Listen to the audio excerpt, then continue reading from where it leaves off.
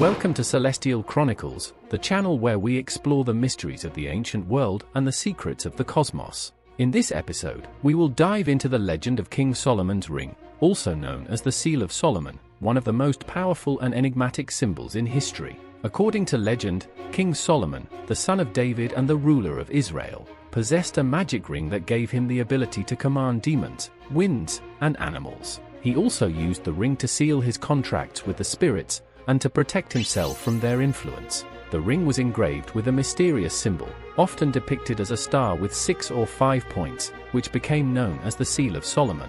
But where did this ring come from, and how did Solomon acquire it? And what is the meaning and the origin of the seal that bears his name?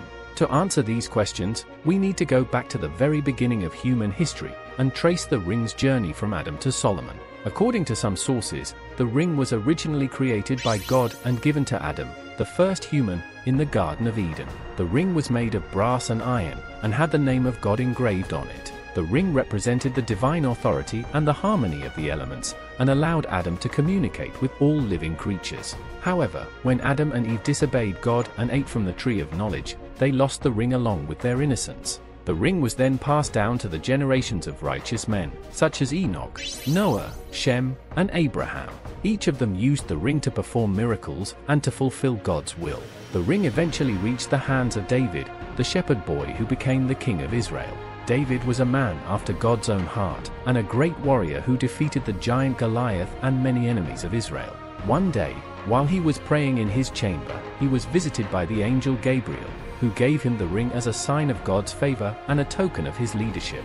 David was overjoyed and thanked God for this gift. David wore the ring for the rest of his life and passed it on to his son Solomon, who succeeded him as the king of Israel. Solomon was renowned for his wisdom, wealth, and splendor. He built the magnificent Temple of Jerusalem and expanded his kingdom to unprecedented heights. He also had a great interest in the occult sciences and sought to learn the secrets of the universe. Solomon inherited the ring from his father, but he had to prove himself worthy of it. According to one story, he was tested by two women who claimed to be the mother of the same baby. Solomon used the ring to summon a demon who threatened to cut the baby in half. The real mother pleaded for the baby's life, while the false one agreed to the division. Solomon then gave the baby to the real mother and exposed the false one. The demon was impressed by Solomon's cleverness and acknowledged him as the master of the ring. Solomon used the ring to rule over his vast domain and to accomplish many wonders. He summoned and bound many demons and forced them to work for him. He also controlled the winds and flew on a flying carpet. He spoke with the animals and learned their languages and secrets. He sealed his pacts with the spirits with the ring and engraved the seal on many objects, such as amulets, talismans, and coins. The ring and the seal became symbols of Solomon's power and wisdom and were revered by many people. However, they also attracted the envy and the greed of others, who sought to steal them or to use them for evil purposes. One of these was a demon named Asmodeus, or Sakhr, who was the king of the demons and the archenemy of Solomon. Asmodeus devised a cunning plan to trick Solomon and to take his place. He disguised himself as a nobleman and befriended Solomon. He then asked Solomon to lend him the ring so that he could admire it. Solomon, who trusted him, agreed and gave him the ring. Asmodeus then revealed his true identity and threw the ring into the sea.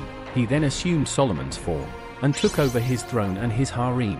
He also reversed many of Solomon's deeds and caused chaos and corruption in the kingdom. Solomon, meanwhile, was banished from his palace and wandered around the land as a beggar. He tried to convince people that he was the real king, but no one believed him. He prayed to God for help and searched for his ring. After a long time, he came across a fisherman who offered him a fish to eat. Solomon opened the fish and found his ring inside it. He recognized it as a miracle and thanked God for his mercy. Solomon then put on the ring and confronted Asmodeus. He reclaimed his throne and banished the demon. He then restored his kingdom to its former glory and continued to rule with justice and wisdom. He also kept the ring with him at all times and never parted with it again. Solomon died at the age of 80 and was buried in Jerusalem. His ring and his seal, however, did not die with him. They continued to exist and to influence the course of history. Many people claim to have found them, or to have possessed them, and to have used them for various purposes. Some of these were good, and some were evil. One of the most recent and controversial claims about the ring and the seal came from Turkey, where a group of researchers announced that they had discovered Solomon's tomb and his seal in 2018. They claimed that the seal was a metal disc with a six-point star and a Hebrew inscription, and that it had a powerful magnetic field. They also claimed that the seal was connected to a secret society and to a state intelligence agency, and that it had a role in the geopolitics of the region. However, their claim was met with skepticism and criticism from both scholars and authorities. They were accused of fabricating evidence, of violating archaeological laws, and of spreading conspiracy theories. They were also threatened and harassed by unknown forces who wanted to silence them or to take the seal from them. The truth about the seal and its whereabouts remains a mystery. Is it really Solomon's seal or a fake? Is it a source of power or a curse? Is it a blessing or a danger? These are the questions that still haunt the minds of many who are fascinated by the legend of King Solomon's ring. Thank you for watching this episode of Celestial Chronicles. If you enjoyed it, please like, share, and subscribe to our channel. And don't forget to hit the bell icon to get notified of our new videos. We will be back soon with more amazing stories and secrets from the ancient world and the cosmos. Until then, stay curious and stay tuned.